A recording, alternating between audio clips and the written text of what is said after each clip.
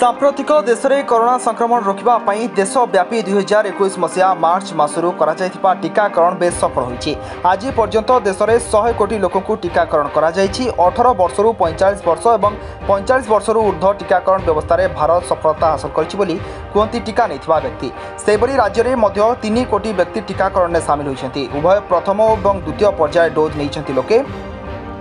ତେବେ ବାକି ଥିବା ବ୍ୟକ୍ତିଙ୍କ ଟିକାକରଣ ଜାରି ରହିଛି ରାଜ୍ୟର ଶ୍ରୀରାମଚନ୍ଦ୍ର ଭଞ୍ଜ ମେଡିକାଲ ସମେତ ରାଜ୍ୟର ପ୍ରତ୍ୟେକ ଜିଲ୍ଲାରେ ମୁଖ୍ୟ ଚିକିତ୍ସାଳୟ ଏବଂ ପିଏଚ୍ସି ସିଏଚ୍ସି ମାନଙ୍କରେ ଟିକାକରଣ ଉପଲବ୍ଧ ରହୁଛି ଟିକାକରଣ ଆରମ୍ଭରୁ ଅଫ୍ଲାଇନ୍ ଟିକା ଦିଆଯାଉଥିଲା ବେଳେ ପରବର୍ତ୍ତୀ ପର୍ଯ୍ୟାୟରେ ଅନ୍ଲାଇନ୍ରେ ଟିକାକରଣର ସୁବିଧା ଦିଆଯାଉଛି ବର୍ତ୍ତମାନ ସହଜରେ ଏବଂ ସୁବିଧାରେ ଚାରିଆଡ଼େ ଟିକାକରଣ ବ୍ୟବସ୍ଥା କରାଯାଇଛି ଟିକାକରଣ ସୁବନ୍ଦୋବସ୍ତ ଏବଂ ସୁଫଳ ପରିଚାଳନା ପାଇଁ ସରକାରଙ୍କୁ କୃତଜ୍ଞତା ଜଣାଇଛନ୍ତି ଟିକା ନେଇଥିବା ବ୍ୟକ୍ତି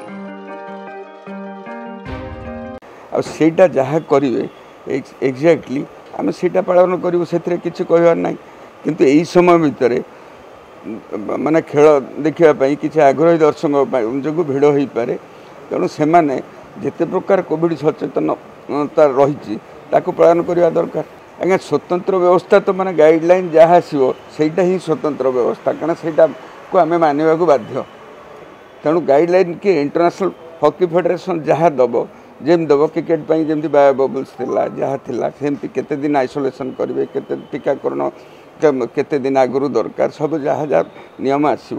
ସେଇଟା ଅକ୍ଷର ଅକ୍ଷରେ ପାଳନ କରିବୁ ଆଜ୍ଞା କୋଭିଡ଼୍ର ପ୍ରତିଷେଧକ ପାଇଁକି ସେଇଟା ତ ଗୋଟେ ନିୟମିତ ପ୍ରକ୍ରିୟା ଯେ ଯେକୌଣସି ଲୋକ ସେ ଖେଳାଳି ହୁଅନ୍ତୁ ବା ଦର୍ଶକ ହୁଅନ୍ତୁ ବା ଜନସାଧାରଣ ହୁଅନ୍ତୁ ତାଙ୍କ ଉପରେ ତ ସତର୍କ ଦୃଷ୍ଟି ରଖିବାଟା ମାନେ ଆବଶ୍ୟକ ଏବଂ ସେଇଟା ବି ରହିବ